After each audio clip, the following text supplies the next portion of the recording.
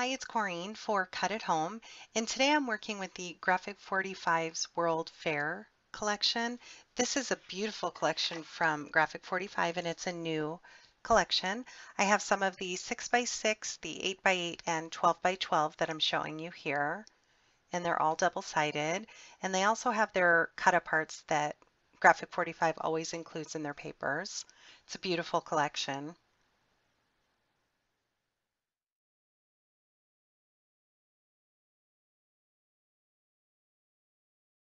Here is some of the chipboard from the same collection. It's the chipboard 2 and they have some really beautiful images on them.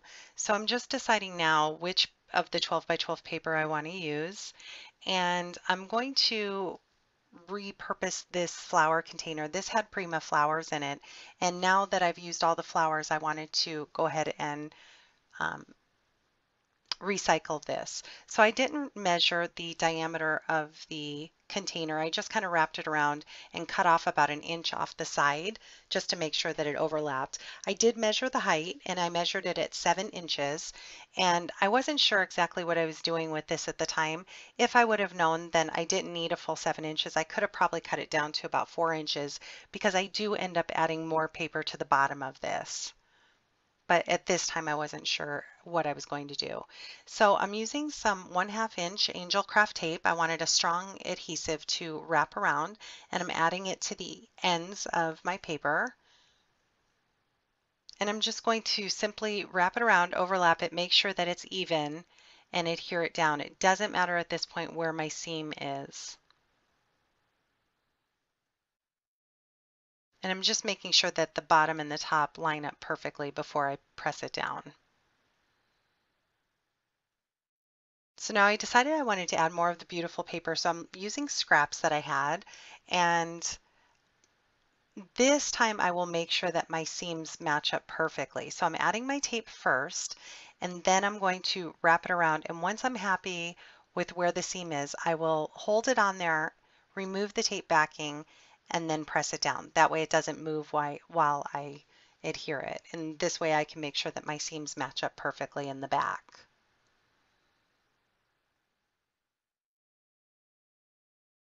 Doing the exact same thing with this other scrap piece of paper. Adding a little bit of wet adhesive as well, just to give it a little extra strength so it doesn't move. And again, I'm just making sure it lines up from top to bottom. Here I'm just showing you that my seam runs perfectly down the entire back of it.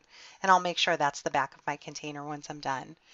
So I'm going to use another strip of scrap piece of paper and adhere it to the lid of that. I did not want to leave it um, the way it was. It looks better that it's covered. So I'm using the one quarter inch Angel Craft tape, adding it to a few of the places. And again, lining up my seam so it matches perfectly the entire way down. And I'm just removing the tape backing as I'm going. For the lid of this, I just measured it out and I cut out a three inch circle using my Silhouette Cameo. You can use any die cutting machine you have or a punch or just a template and cut it out yourself and add that to the top. That way it just finishes the top off perfectly.